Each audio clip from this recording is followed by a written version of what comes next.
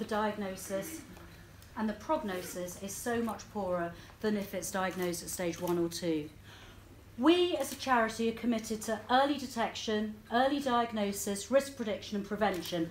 That is our focus. We want to diagnose cancer at its earliest stage and stop it before it starts wherever we can. And for ovarian cancer, that's really, really important.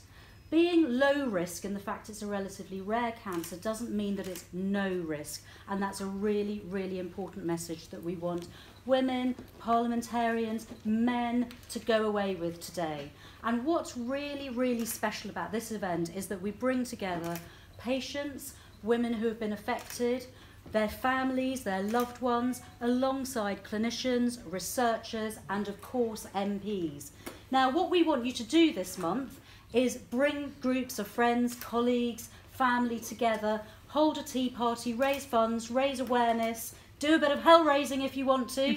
and we really want you to, to spread the message for us because what needs to happen is far more needs to be invested in early detection and research.